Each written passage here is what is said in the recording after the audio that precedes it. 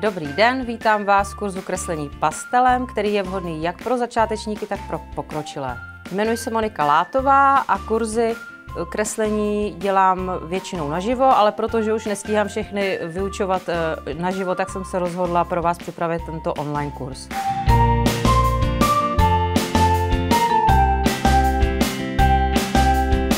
Technika pastelu je jednoduchá, hravá a zvládne to opravdu každý. Malovali jste někdy portrét? Je to jedno, jestli ano nebo ne, protože v průběhu kurzu vás to naučím. Zkoušeli jste někdy malovat hlavu koně? Je to jedno, jestli ano nebo ne, protože to vás naučím taky.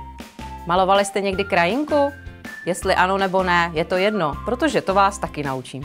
Víte co? Nejlepší bude, když si to budeme přímo vyzkoušet. Hned v prvních dílech vám ukážu, jak nakreslit tuhletu africkou krajinu se západem slunce, kde máme i různé detaily, jako by siluety stromů, slonů a ptáků.